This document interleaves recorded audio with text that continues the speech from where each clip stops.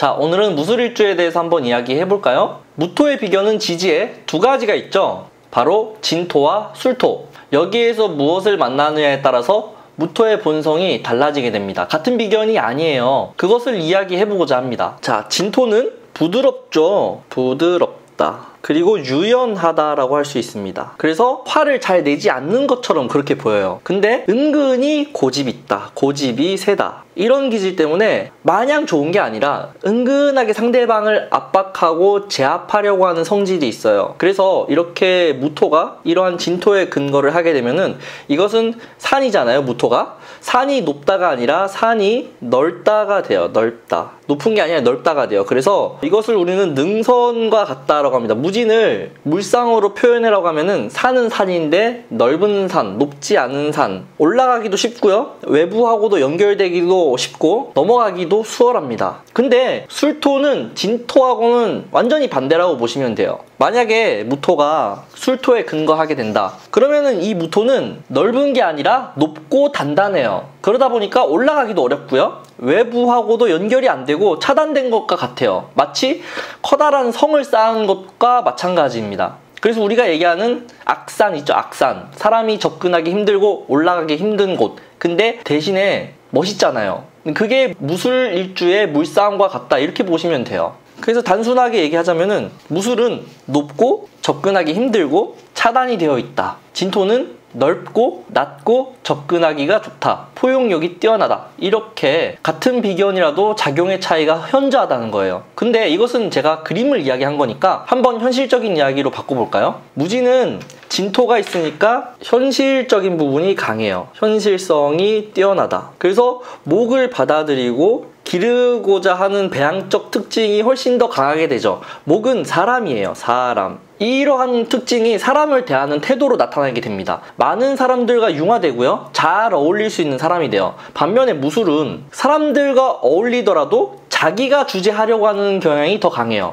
일을 시키는 것도 무지는 사람들이 일을 잘 할 수 있게끔 분위기를 조성한다고 한다면 무술은 통제를 하고 경계를 만들고 안과 밖을 확실하게 나누는 사람이 돼요. 그것이 마치 성을 쌓은 것과 같다 이렇게 얘기하는 거죠. 물론 이렇게 얘기하면은 무진이 더 나은 것처럼 비춰질 수가 있겠죠? 그러면 이제 무술일주의 좋은 점도 제가 얘기를 해야죠. 무진일주는 되게 설득이 되기도 쉬울 것 같고 꼬시기도 쉬울 것 같고 사람도 잘 받아들이고 잘 어울리기도 하고 부드럽고 이러다 보니까 뭔가 쉬운 듯 하지만은 정말로 쉽지 않은 사람이에요. 끝까지 넘어가지 않습니다. 속을 알기가 어렵다는 소리예요. 무진일주는 절대로 자기 속내를 다 드러내지 않아요. 다 보여주지 않습니다. 그러니까 무진일주를 상대하는 사람은 가면 갈수록 뭔가 어려운 듯한 느낌을 받게 돼요. 근데 무술일주는 속을 다 안 내 보이는 게 아니라요. 호불호가 너무나도 확고한 거예요. 무진일주가 긴가민가 스탠스를 왔다 갔다 왔다 갔다 하는 것처럼 보인다면은 무술일주는 스탠스가 확실해요. 그래서 보여주지 않으려면 아예 안 보여주거나 보여주려면 다 보여주고요. 솔직해요. 성문을 열기 어려운 거는 무진일주보다는 무술일주라고 보면 되는데 한 번 열면은 끝까지 100%다 보여주는 게 무술일주와 같다 이렇게 보면 됩니다. 이것의 차이를 가장 확실하게 알 수 있는 방법은요. 무진일주한테 돈을 빌려보고 무술일주한테 돈을 빌려보면 돼요.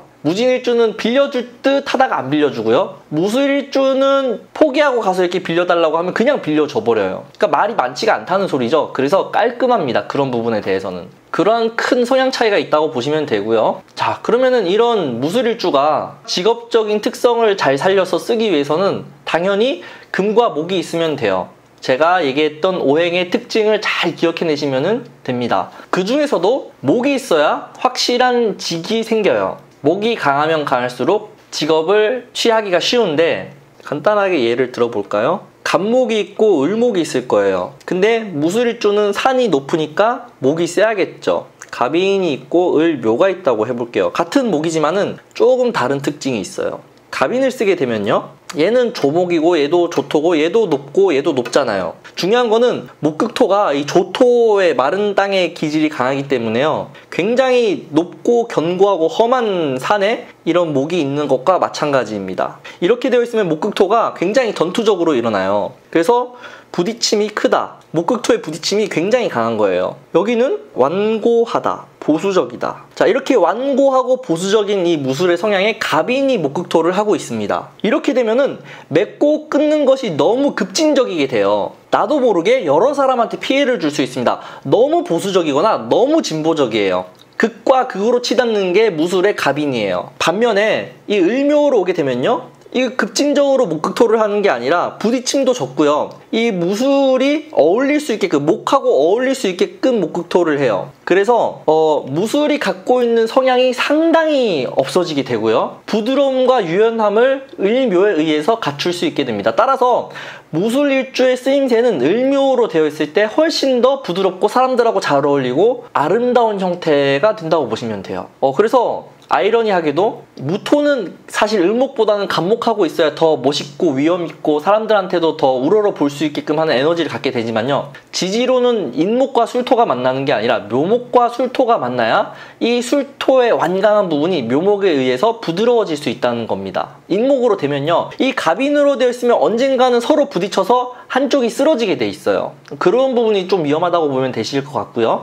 이렇게 무술주가 목을 쓰게 되면은 리더의 성향, 사람들을 따르게 하는 성향, 카리스마 이런 것들로 연결이 되는데 만약에 술, 월에 무토였으면은 목을 쓰더라도 그냥 직장에 다니는 직장 지명이 될 거예요. 하지만 이렇게 술월이 아니라 무술 일주가 되면요 관을 쓰더라도 나 중심으로 관을 쓰려고 하다 보니까 직장을 다니더라도 언젠가는 회사를 그만두고 나의 팀을 꾸리려고 하는 내가 회사를 운영하게 운영하려고 하는 그런 형태로 발현될 가능성이 크다. 내 팀을 꾸리려고 한다. 회사가 나를 이용하는 게 아니라 내가 회사를 이용한다. 이렇게 보시면 될 것 같습니다. 그래서 상당히 개인적인 특징이 강해지는 거예요. 만약에 술월이면은 비견이 월에 있으니까 그냥 직장에 다니고 직장에서 사람을 부리는 형태가 됩니다.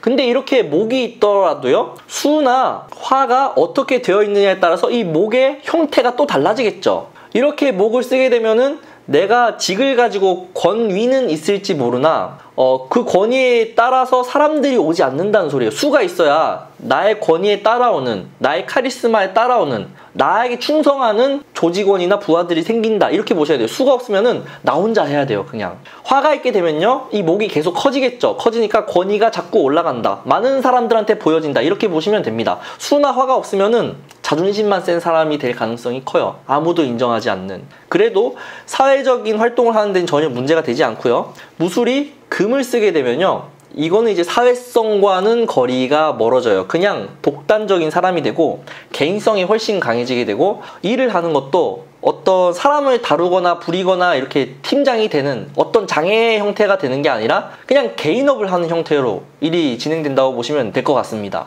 이렇게 토생금이 되면요 대체적으로 발현이 오래 걸린다. 운동선수를 하더라도 대기만성형이에요 우리가 얘기하는 대기만성은 대체적으로 토생금형들이 많습니다. 처음부터 두각을 나타내는 사람이 있고요. 뒤로 갈수록 베테랑이 되어가는 사람이 있는데 처음부터 두각을 나타내려면 목생화가 잘 되면 되고요. 대기만성이 되려면 이렇게 토생금이 강하면 돼요. 뒤로 가면 갈수록 능력을 드러내게 되고요. 그 덕분에 오래 할 수 있는 사람이 돼요. 나이가 나이 40이 되어도 운동선수를 할 수 있다. 이렇게 보시면 될 것 같습니다. 무술일주를 정리하자면요.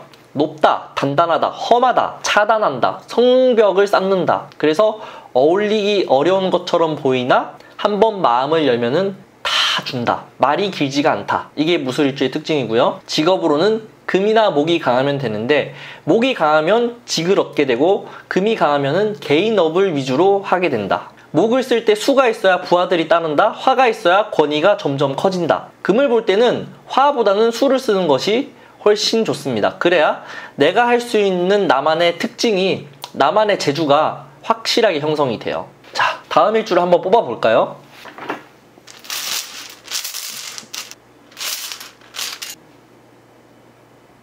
네, 다음에 기회일주로 찾아뵙도록 하겠습니다. 감사합니다.